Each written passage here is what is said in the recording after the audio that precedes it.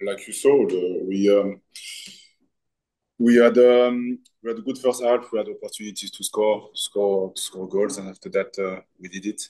And um, I don't know what happened on the on the on the on the goal that they scored. We stopped uh, all out or not out was not out, and uh, and after that the, the second goal we got punished with, um, with um, uh, a counter.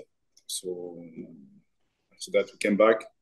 Uh, we came back to uh, we were close also to, to score another goal, but it was not enough. And after that, the PK is the PK. What is it like for you when it goes to PKs and there's really nothing else that you can do as a coach and it's kind of just all up to the players? What are the emotions and thoughts that are running through your head during the penalty shootout? I told you, I told you, no, no impact on the on the PK. You know, this is a this is a mental exercise and also technical exercise, but more mental exercise. And uh, we were we were ahead but we didn't uh, we didn't uh, finish uh, when we had this opportunity. And after that, yeah, this is a PK is so so tough, so tough, so tough. mental exercise for me. do anything down PK. This is so difficult, and, and again, I will not blame.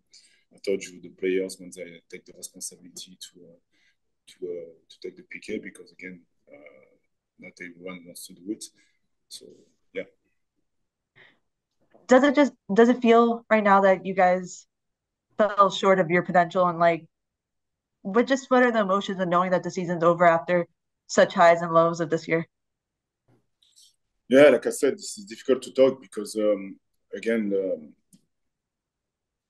for sure, we want you to do to to do uh, to do well and to, to go as far as possible but we have to respect the fact that respect the defeat, respect that we the fact that we lost, and uh, and uh, and uh, New York twice, so they deserve to go through. Simple as that. Thank you. Uh, anybody else have questions? Will please raise your hand?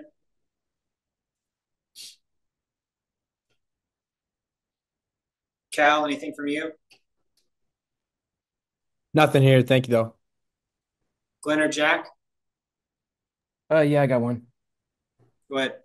Hey, Coach, uh, after the game, uh, what was the message to the guys in the locker room?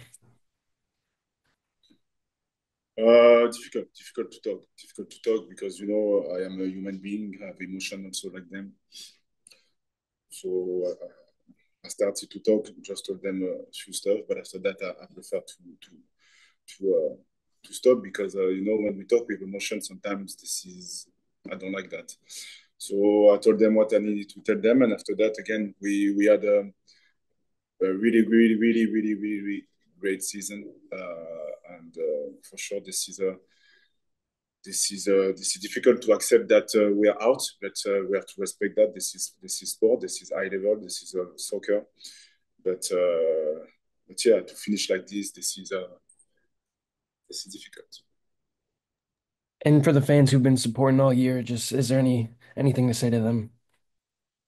Yeah, and thank you for the fans. Um, we saw a few fans uh, again that were with us. Uh, they traveled for that, and uh, thank you so much. And uh, we want you to do more, but um, but it was difficult for for this moment. So so thank you.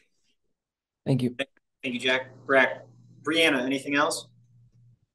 Yeah, uh, one more thing. Just from your end, do you feel like there's tactically anything you could have done differently in regard to lineup or anything that you just felt like on that you could have done differently? Can you just talk about the thoughts of this lineup? You went with a different starting lineup compared to the rest of the season, and you made different changes that we haven't seen you made make so far. So just tactically, how do you feel like? What do you feel like you could have done differently?